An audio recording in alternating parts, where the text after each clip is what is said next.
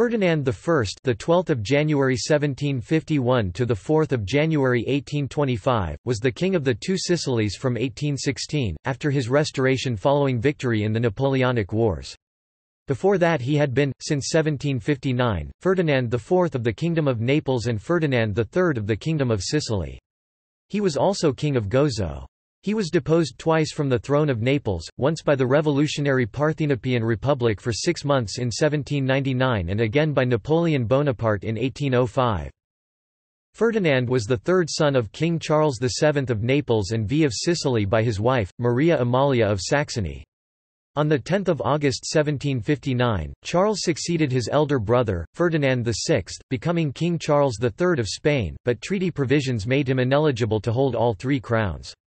On 6 October, he abdicated his Neapolitan and Sicilian titles in favour of his third son, because his eldest son Philip had been excluded from succession due to illnesses and his second son Charles was heir to the Spanish throne.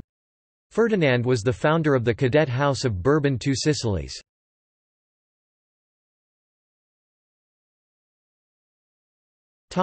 Styles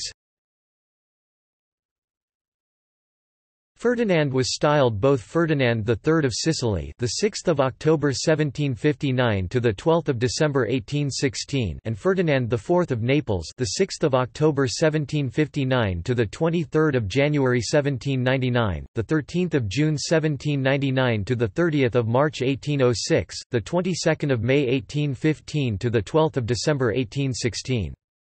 On 21 January 1799, the Kingdom of Naples was abolished and replaced by the Parthenopaean Republic which lasted until 13 June 1799.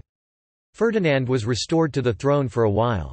On 26 December 1805, Napoleon I of France declared Ferdinand deposed again and replaced him with his own brother Joseph Bonaparte on 30 March 1806.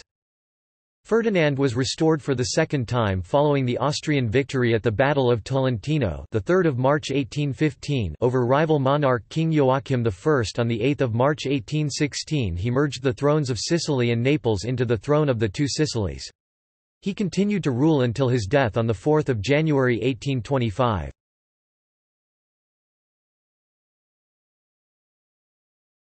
Topic: Childhood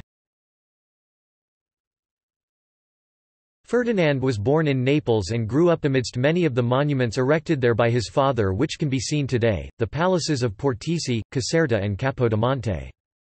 Ferdinand was his parents' third son, his elder brother Charles was expected to inherit Naples and Sicily. When his father ascended the Spanish throne in 1759 he abdicated Naples in Ferdinand's favour in accordance with the treaties forbidding the union of the two crowns. A regency council presided over by the Tuscan Bernardo Tanucci was set up.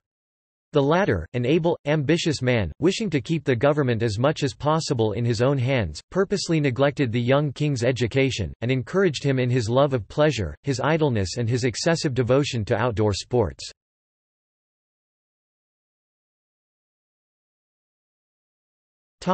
Reign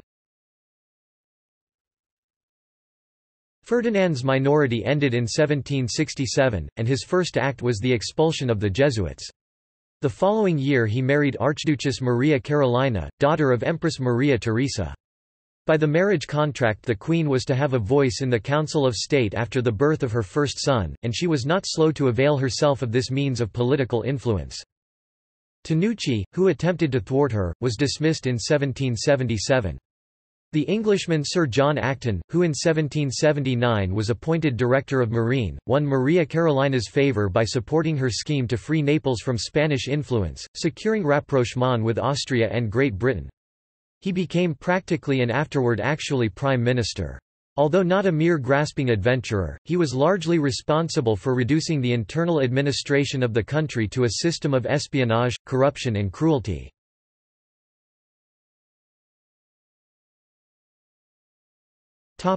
French occupation and the Parthenopaean Republic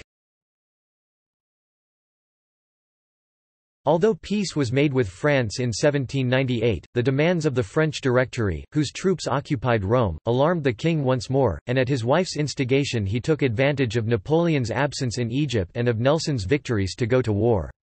He marched with his army against the French and entered Rome the 29th of November, but on the defeat of some of his columns he hurried back to Naples, and on the approach of the French, fled on 23 December 1798 aboard Nelson's ship HMS Vanguard to Palermo, Sicily, leaving his capital in a state of anarchy. The French entered the city in spite of the fierce resistance of the Lazzaroni, and with the aid of the nobles and bourgeoisie established the Parthenopaean Republic January 1799. When, a few weeks later the French troops were recalled to northern Italy, Ferdinand sent a hastily assembled force, under Cardinal Ruffo, to reconquer the mainland kingdom. Ruffo, with the support of British artillery, the Church, and the pro-Bourbon aristocracy, succeeded, reaching Naples in May 1800, and the Parthenopaean Republic collapsed. After some months King Ferdinand returned to the throne. The king, and above all the queen, were particularly anxious that no mercy should be shown to the rebels, and Maria Carolina a sister of the executed Antoinette made use of Lady Hamilton, Nelson's mistress, to induce Nelson to carry out her vengeance.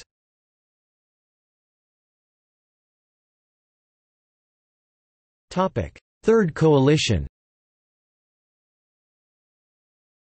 The king returned to Naples soon afterwards, and ordered a few hundred who had collaborated with the French executed.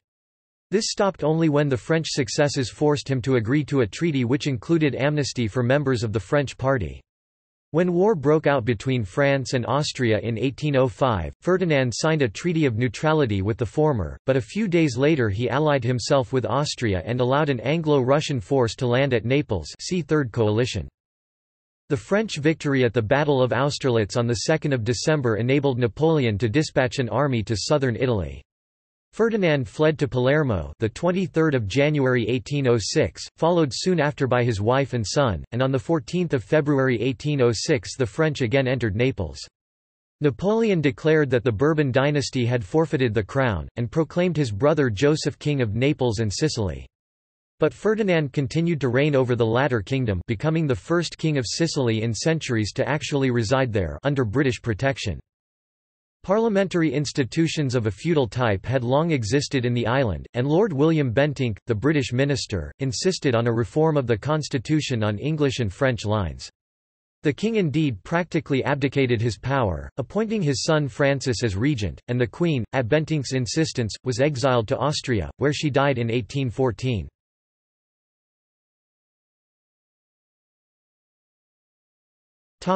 Restoration After the fall of Napoleon, Joachim Murat, who had succeeded Joseph Bonaparte as King of Naples in 1808, was dethroned in the Neapolitan War, and Ferdinand returned to Naples. By a secret treaty he had bound himself not to advance further in a constitutional direction than Austria should at any time approve, but, though on the whole he acted in accordance with Metternich's policy of preserving the status quo, and maintained with but slight change Murat's laws and administrative system, he took advantage of the situation to abolish the Sicilian constitution, in violation of his oath, and to proclaim the union of the two states into the Kingdom of the Two Sicilies the 12th of December 1816. Ferdinand was now completely subservient to Austria, and Austrian, Count Nugent, being even made commander-in-chief of the army. For the next four years he reigned as an absolute monarch within his domain, granting no constitutional reforms.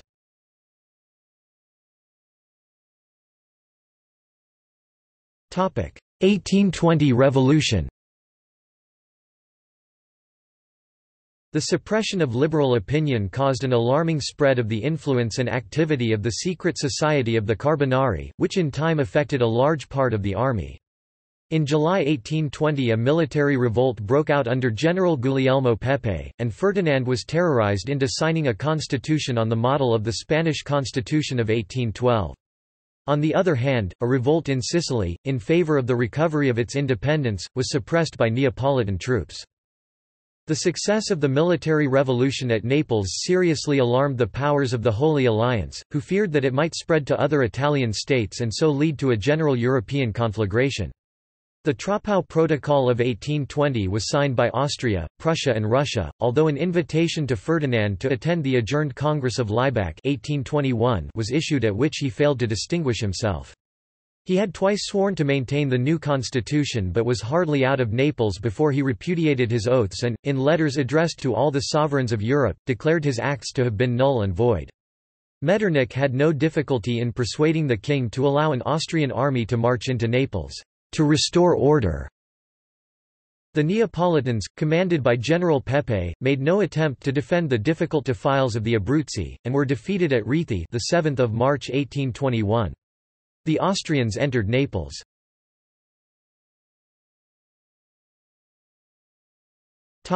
Later years Following the Austrian victory, the parliament was dismissed and Ferdinand suppressed the liberals and Carbonari. The victory was used by Austria to force its grasp over Naples' domestic and foreign policies. Count Charles Louis de Ficquelmont was appointed as the Austrian ambassador to Naples, practically administrating the country as well as managing the occupation and strengthening Austrian influence over Neapolitan elites. Ferdinand died in Naples in January 1825. He was the last surviving child of Charles III.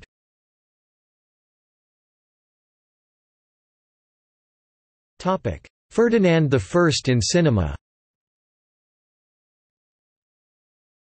Ferdinando and Carolina 1999 directed by Lina Wertmuller Luisa Sanfelice 2004 directed by Paolo and Vittorio Taviani.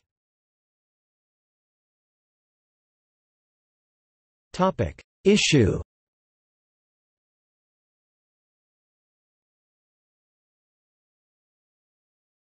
Topic Ancestry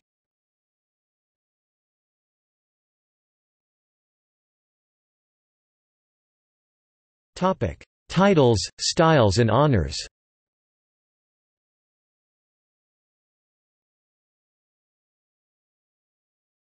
Topic: Titles and styles. The 12th of January 1751 to the 10th of August 1759 His Royal Highness Prince Ferdinand of Naples and Sicily, Infante of Spain. The 10th of August 1759 to the 12th of December 1816 His Majesty the King of Naples and Sicily. The 23rd of January 1799 to the 13th of June 1799 titular King of Naples. The 30th of March 1806 to the 22nd of May 1815 titular King of Naples. The 12th of December 1816 to the 4th of January 1825 His Majesty the King of the Two Sicilies.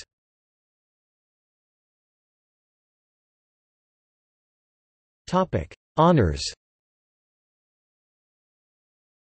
The 12th of January 1751 Knight of the Order of Saint Januarius. The 12th of January 1751 Knight of the Order of the Golden Fleece. The 10th of August 1759 Grand Master of the Sacred Military Constantinian Order of St George. The 1st of April 1800 Grand Master of the Order of St Ferdinand and of Merit. The 24th of February 1808 Grand Master of the Royal Order of the Two Sicilies.